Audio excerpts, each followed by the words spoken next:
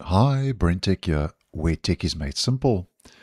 So, since November last year, I've been letting you know about the upcoming vertical tabs that Google is working on in early preview versions of the browser. So, if we head up to our tab strip, we right click. Here we've got move tabs to the side. We get our vertical tabs, and here we can collapse, expand. You've got your tab search, You've got tab groups and you can add tabs, obviously. And then if you want to exit vertical tabs, you just right click, move tabs to the top, and it places everything back to how it was. And another way you can enable and disable vertical tabs is if you head into your settings, just as a quick recap, appearance, yeah, you'll see tab strip position, top or side. So that's just a quick recap as to what this upcoming feature is all about. Now, when I posted previously, vertical tabs could only be enabled using a command line flag. So it was very early days and a command line flag is, as you may well know if you view the channel, is quite different. You basically just force in the feature using a command.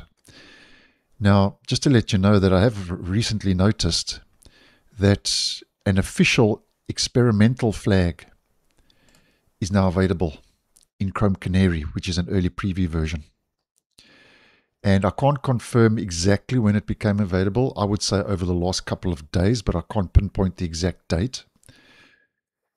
So if we head into our experimental flags page, and now we type in vertical, we can see vertical tabs enables an option for showing tabs to the side.